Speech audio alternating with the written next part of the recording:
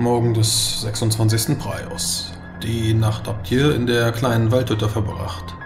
Die Skelette haben euch über die Maßen gefordert und ihr brauchtet die Regeneration. Nun hofft ihr vor allem auf die Sternenkraft, die euch im nächsten Kampf gegen Verenas Drachenreiter helfen soll. Eine Stunde Fußmarsch durch den Wald von Sumu, dann trefft ihr auf Perz und die kleine Ruine des Corvinstein. Die Erkundungen am Abend des 25. haben ergeben, dass die Mauern nur spärlich besetzt sind. Die Äcker kurz hinter Perz sind ebenso umgegraben wie die in Kaiserhain. Das ungeschützte Dorf ist niedergebrannt und verlassen. Zwischen den Trümmern konntet ihr Banner der Drachengarde von Rassasor entdecken.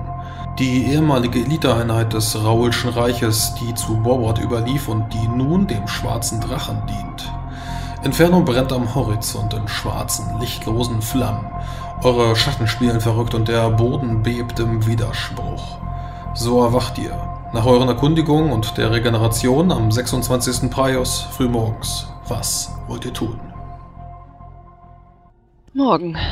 Habt ihr einigermaßen gut geschlafen? Nun ja, die, die, die Umstände halbe. Nicht mehr und nicht schlechter als vorher. Nun, das war eine sehr stärkende Erfahrung. Stärkend? Nun, selbstverständlich. Mhm. Ja, ach so, ihr meint damit sicher eine abhärtende Erfahrung oder so etwas? Und das Werden ist genauso wie das Vergehen Teil unserer Natur. Wenn wir nicht vergehen, so werden wir. Entsprechend stärken wir uns, solange wir nicht vergehen. Ja, äh, richtig. Vergehen, das wollen wir noch lange nicht. Nun, wenn die Zeit gekommen ist. Wir sollten vielleicht einen positiveren Ton anschlagen für den heutigen Tag, nicht wahr? Ähm, wir sollen uns jetzt keine Gedanken darüber machen, wie wir einst vergehen werden. Ich denke, das wirft ein ganz, ganz schlechtes Licht auf den Tag. Ihr möchtet euren Freund aus, aus diesem Stein holen? Ich sag das. Warum ist er dort? Nun, er wurde gefangen genommen. Die Umstände sind uns nicht weiter bekannt. Wenn du Menschenkenntnis größer 7 hast, merkst du, dass er mit dem Begriff gefangen nichts anfangen kann. Er wurde seiner Freiheit beraubt. Mhm. Aber warum? Weil die, die in der Burg sind, Drachen haben. Und wir hatten schon geklärt, Drachen böse, böse Menschen töten. Na? Hm. Erinnert Drachen ihr sind in der euch? Tat sehr gierige Viecher. Zu welchem Zweck er dort gefangen gehalten wird, wissen wir nicht. Vermutlich dient er als Geisel oder als, nun, als Informationsbeschaffer. Wenn er gefangen ist, wie kann er dann Informationen beschaffen? Nun, er lebte schon in, auch in der Vergangenheit. Und er war eine wichtige Säule in der Gesellschaft der Menschen. Dementsprechend hat er natürlich Informationen über die Menschen. Hm, dann ist es wohl wichtig für euch, ihn, ihn aus diesem Stein herauszuholen. Aus der Burg, genau. Dann gehen wir, oder? Wir sollten vielleicht zuerst einen Plan schmieden, wie wir ungesehen in diese Burg hineingelangen. Und möglichst unbeschadet hinaus. Nun, das ist leicht, Helor. Ihr lasst euch nicht sehen und dann rennt ihr schnell. Ja, ganz leicht. Wir brauchen einen Plan. Wir können doch nicht improvisieren.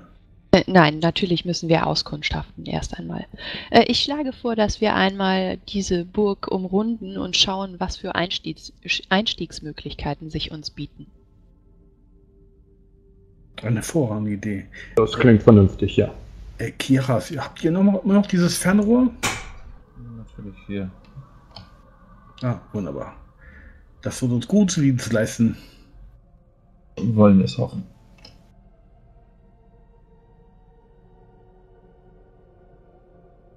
Sind Nun, wir- vermutlich sollten wir äh, jetzt aufbrechen. Oder äh, würdet ihr es für klüger halten, auf äh, die Dämmerung zu warten? Ich würde es für klüger halten, erstmal zu frühstücken. Denn es ist nicht sinnvoll, mit leerem Magen eine derartige Operation anzugehen. Wenn ihr sehen, aber nicht gesehen werden wollt, dann wartet ihr wohl besser darauf, dass die anderen Menschen nicht sehen. Ja, Ich denke, Untoten ist es egal, ob sie sehen können oder nicht. Und die Drachen werden uns riechen können. Obwohl, so sehr wie sie stinken. zudem müssen wir die Einstiegsmöglichkeiten erstmal erkunden. Das ist richtig. Wenn wir Glück haben, finden wir einen kleinen, engen Schacht, der uns direkt im Kellergewölbe der Burg führt. Das wäre fantastisch. So etwas wie ein Fluchttunnel, den Ja. die früheren Besitzer vielleicht mal benutzt haben. Genau, sowas habe ich gedacht. Ach, Oder schon wieder Das unter die Erde. sind sie allerdings nicht leicht zu finden, solche Fluchttunnel.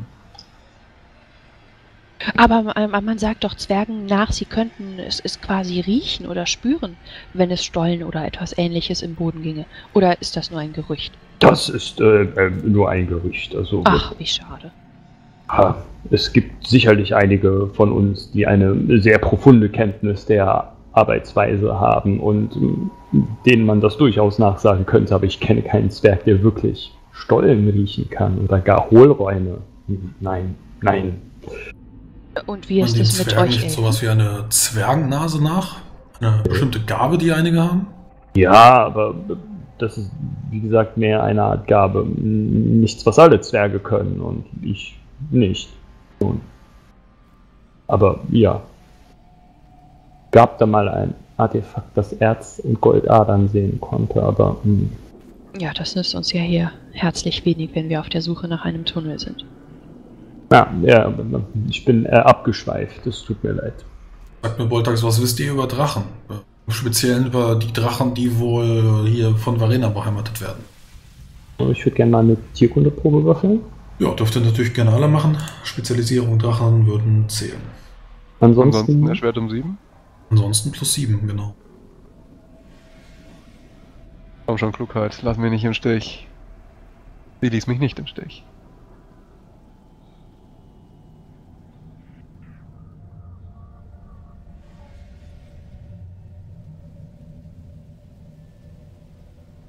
Drachen sind üble Geschöpfe, üble Geschöpfe und sie stinken. Furchtbar und sind gierig. Das weiß ich. Nun, da hat er tatsächlich recht. Der Geruch gerade von solchen Tatzelwürmern ist sehr übel. Und sie mögen, wie alle Drachen, glitzernde Dinge, auch wenn sie wenig geschickt darin sind, sie zu horten. Sind sie nicht extrem äh, kälteempfindlich als Wesen des Feuers? Er zuckt mit den Schultern. Äh, Ich weiß nicht, ob Drachen wirklich Wesen des Feuers sind. Ich weiß ja nicht mal, was diese. Also, ich habe jetzt mit Drachen nicht so viel zu tun.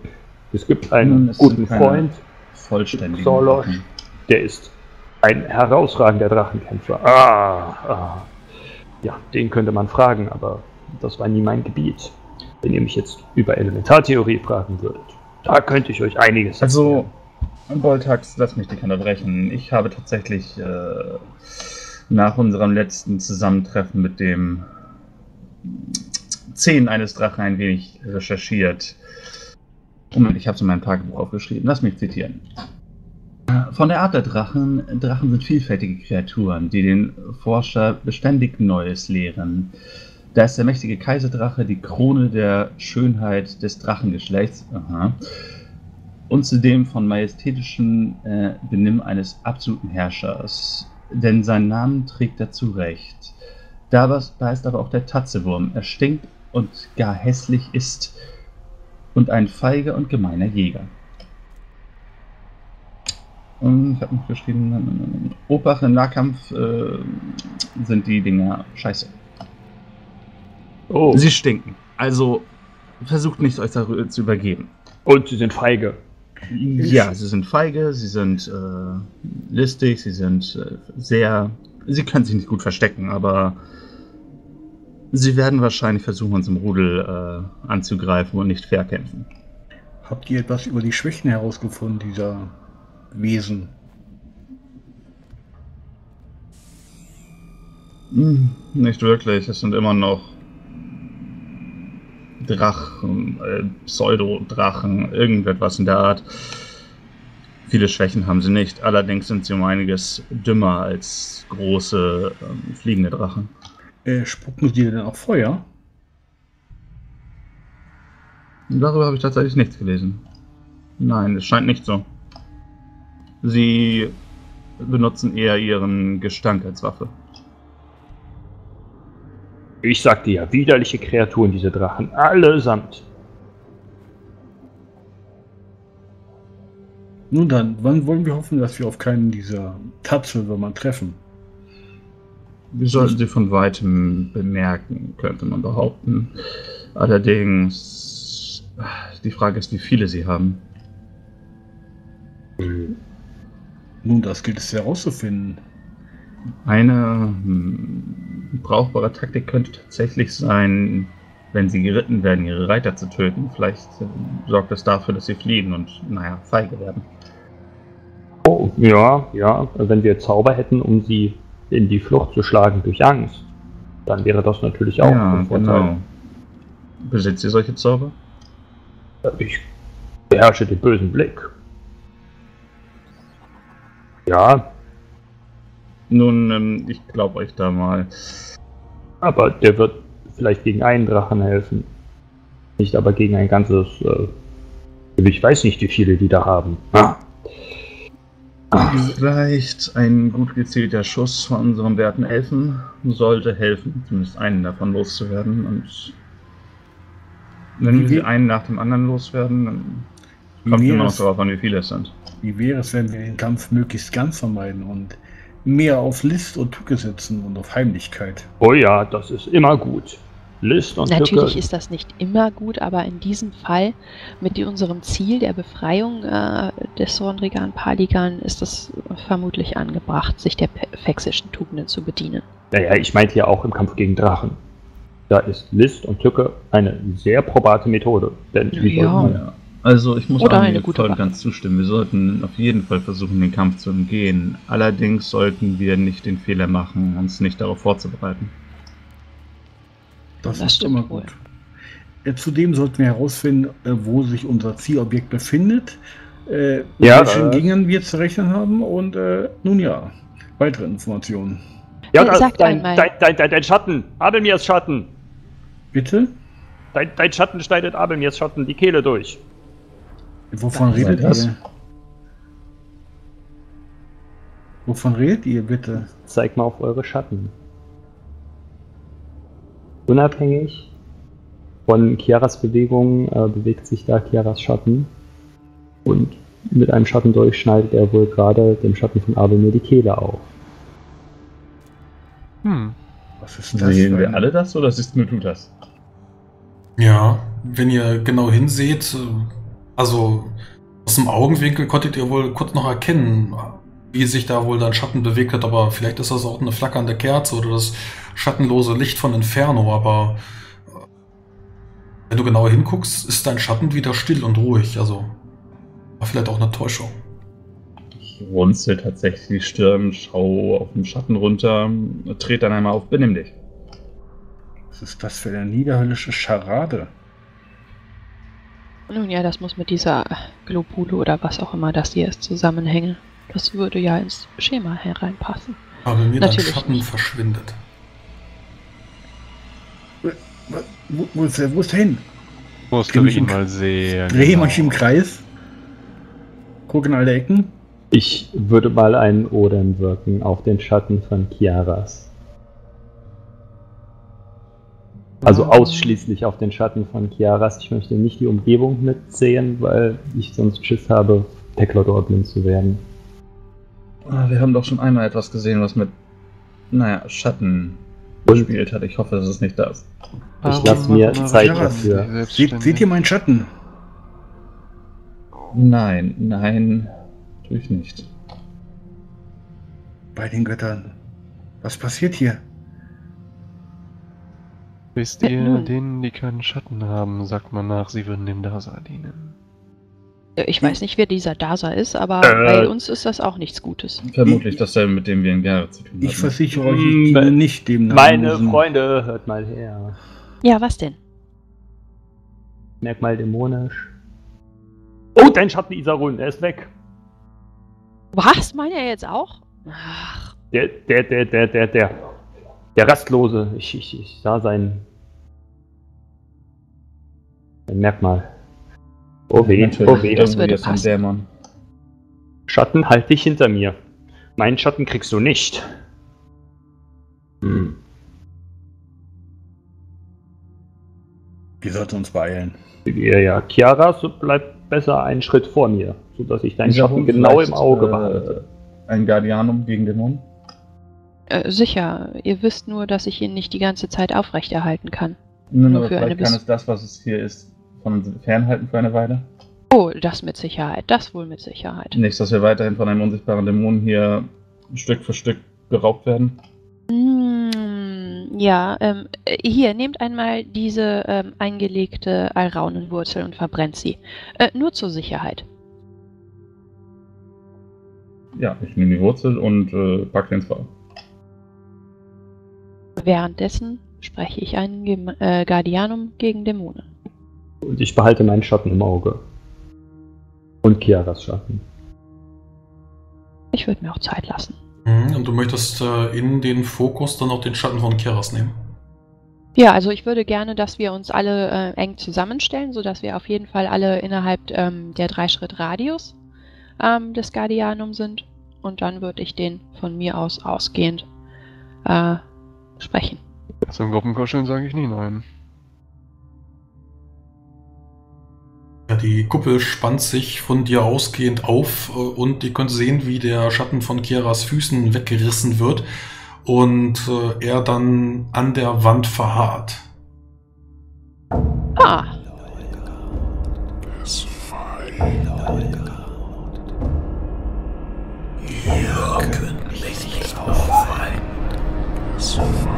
Ich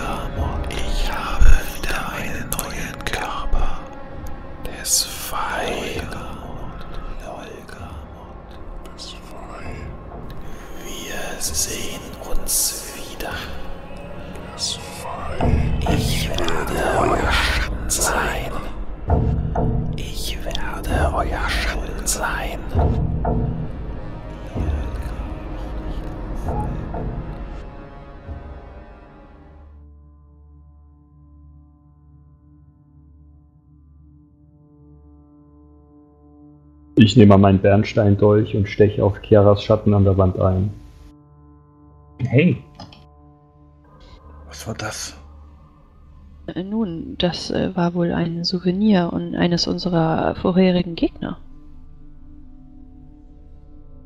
Erinnert ihr euch an äh, vor Hominis? Nein. Nein. Ihr natürlich Nicht.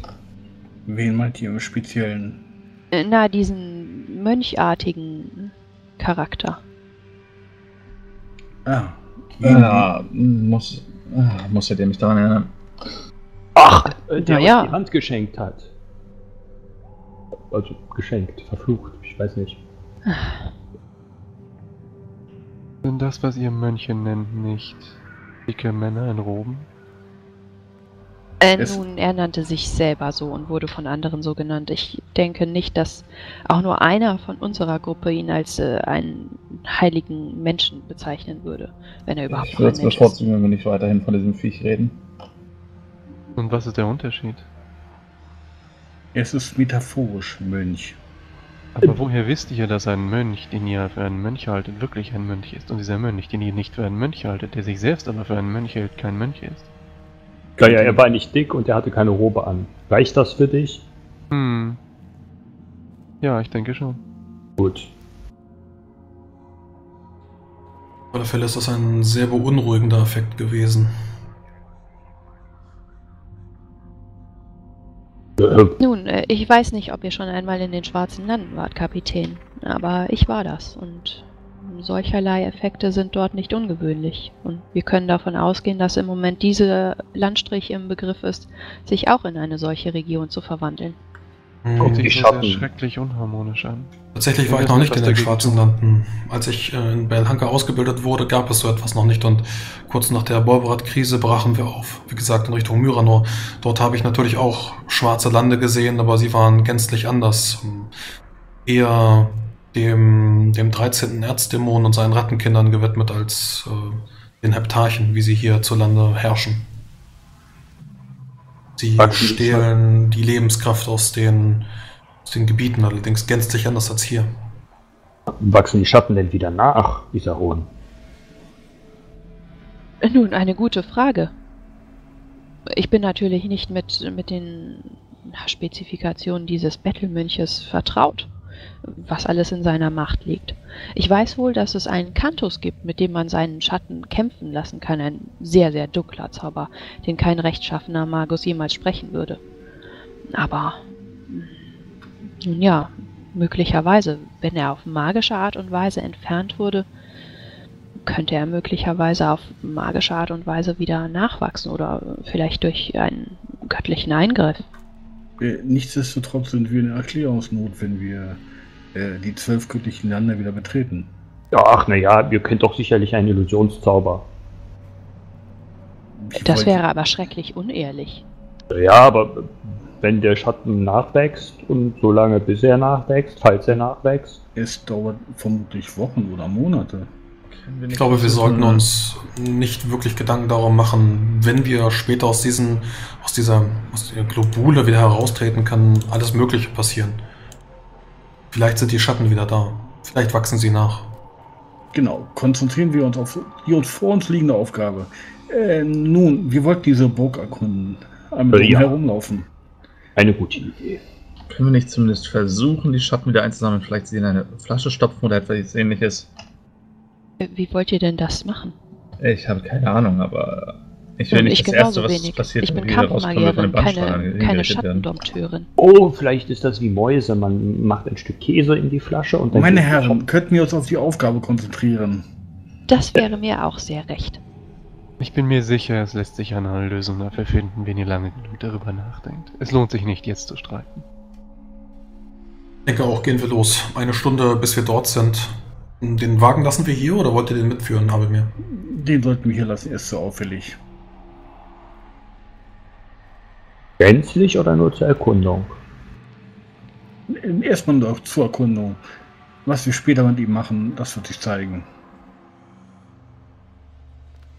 Also gut, ich würde auch vorschlagen, dass wir sonst unseren guten Freund Rafim hier lassen. Ich weiß zwar nicht, ob wir kämpfen, aber sollten wir schleichen, dann wird er mit seiner großen Form eher auffallen. Lassen wir ihn bei dem Karren, bevor etwas passiert. Er ist ein wenig, na, sagen wir, ungeschickt, aber kräftig. Das ist wohl wahr. Wenn wir nicht wollen, dass sie ihn hören, noch wo wir sie sehen können, sollte er hier bleiben.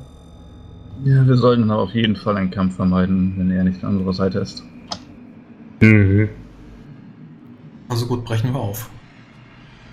Ich drehe mich nochmal zu meinem Schatten an der Wand um. Du kommst Haus erfasst. Ja, so tretet ihr aus der Hütte hinein in die farblose Leere und könnt durch den Wald von Sumu gesegnet hindurchtreten. Ohne den Wagen fällt das natürlich etwas einfacher, aber ja, bis nach Perz dann doch noch eine Zeit und dann steht ihr vor der Ruinenstätte. Den Korwinstein könnt ihr erblicken und euch dann von einer der beliebigen Seiten dem Felsen nähern. Direkt an der, hm, an der Eingangspforte könnt ihr auch hier sehen, wie ähm, ja, mindestens fünf Mordbrenner an den Toren stehen. Nicht wirklich ähm, aufmerksam, aber definitiv wachehaltend. Einen kleinen Fluss, ein, ja, ein, ein kleiner stehender See, der hier dann ähm, im Norden der Korwinsteiner Burg zu erkennen ist, der das Ganze vielleicht auch mit Wasser versorgt. Und ein großes Gebäude, was dann auch über die Mauern hinüberragt. Ist natürlich auf einem kleinen Felsen errichtet, wie jede gute Burg. Und ihr könnt auf der Ostseite einen mittlerweile zerstörten Pereine-Tempel erkennen. Dieser Stein ist ein wenig größer, als ich ihn mir vorgestellt habe. Dieser Stein nennt sich Burg, wie ich sagte. Nun, ihr sagte doch, diese Burg heißt Stein. Korwinstein. Corwinstein ist ein Name, so wie äh, die äh, Elfengebirge bestimmte Namen haben. Nun, ihr könnt Genau. aber nicht abstreiten, dass es sich um einen Stein handelt. Es ein ist Grund- der Stein von Corvin, so. Stein ist Stein. Ob er jetzt zur Burg gebaut worden ist oder nicht, es ist letztlich nur eine Ausformung des Elementes Erz. Seht ihr, der Kleine versteht, was ich sage. Ja, hochinteressant. Wirklich, wir haben diesen Beitrag von euch wirklich gebraucht.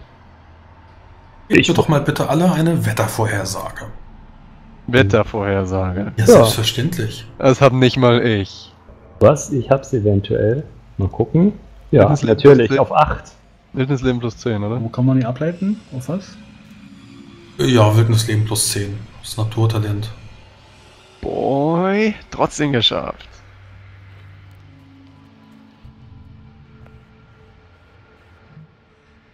Jaras, äh, du bist dir sicher, dass es Nebel geben wird. Hm. Es wird feucht in der Luft.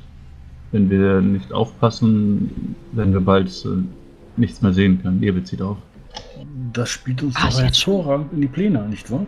Äh, nein, was, wenn hier wieder diese Viecher im Nebel sind? Nun ja, Nebel schützt uns auch. Sind wir uns da sicher? Äh, Es ist, ist zu hoffen. Brauchen Untote ihre Augen? Und die nicht. Die Lebenden schon. Ich mache mir mehr Sorgen um die Untoten.